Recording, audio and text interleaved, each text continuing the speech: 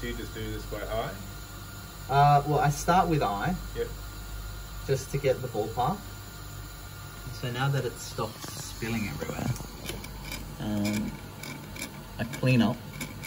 Because when you don't, and while it looks like this now, I'm gonna have to fill a lot to make sure it's landing in the right spot. Indeed. Uh, waiting it to this point. Um, and that's off center.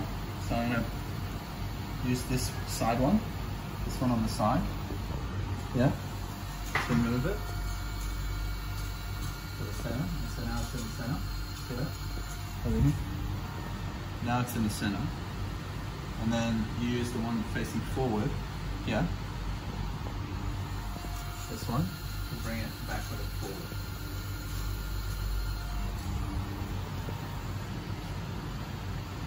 Now I'm going to bring it excess forward because when I correct the the stream, it, you'll see what.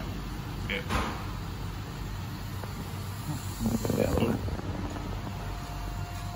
So you're focusing there? Yeah, so I'm using this at the back to to get this. Um, th that kind of moves the stream this way, Oh, okay. whereas this is a pendulum. Yeah, Okay. Yeah. So um, you can see I'm starting to correct, but the pendulum's off. So I need to. That's Hmm. gone too far back. We're gonna go far away again, and then Oh, sorry. see that. Okay, so now we've kind of got to where we want to be. Hmm. And There's crap going on here. It just flicks up and down.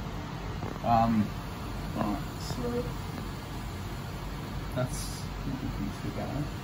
This one moves it from side to side. This silver. So if we go to here, it moves this side to side, not that as much. Okay. Um, so then we focus a bit more. No, it's going well. The other problem is that when you are doing this, when you put your hand here, you obscure the light and it makes it hard to see.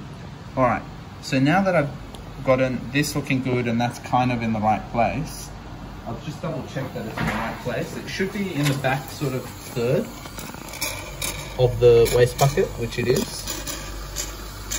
I don't know if you can see that. Um,